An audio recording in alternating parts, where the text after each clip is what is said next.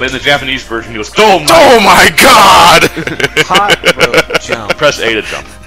It's basically playing jump rope.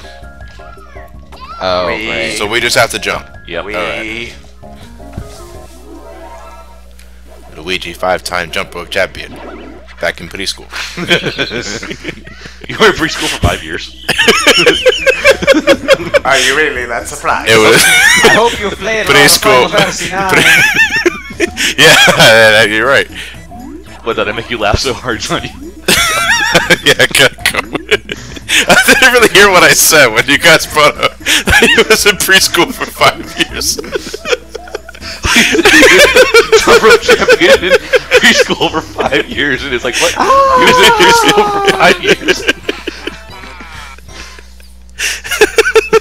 No fair. You made us lose by laughing.